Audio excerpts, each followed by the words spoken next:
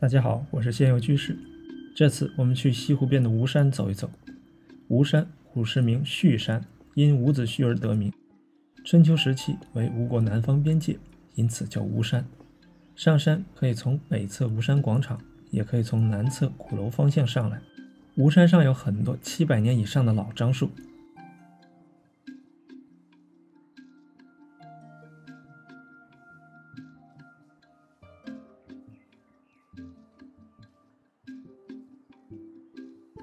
清晨，行走在这里的石板路上，追随着附近晨练的大爷大娘。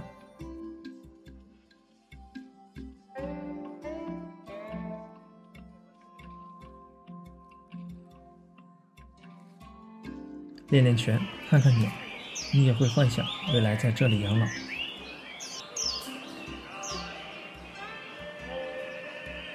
登上西南侧这座亭子。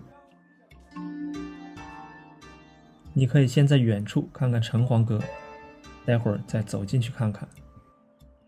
城隍阁为仿古建筑，建成于二零零零年，融合了元明殿宇建筑风格，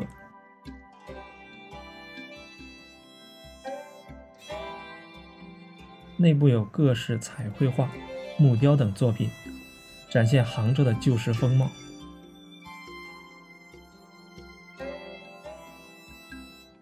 站在顶层，四面而望，东侧市井，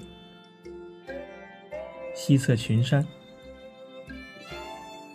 南侧钱江，北侧西湖，尽览杭州江山湖城之胜。在空中，至东向西而望，城隍阁与雷峰塔遥相呼应，绘成了这一区域里最美的画面。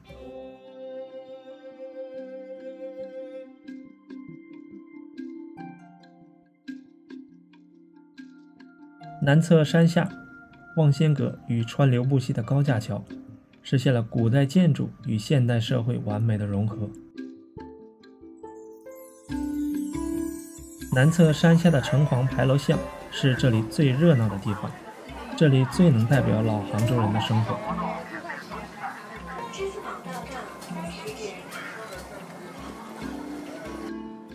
听老板说，他们都喝咸豆浆，下次我也试试。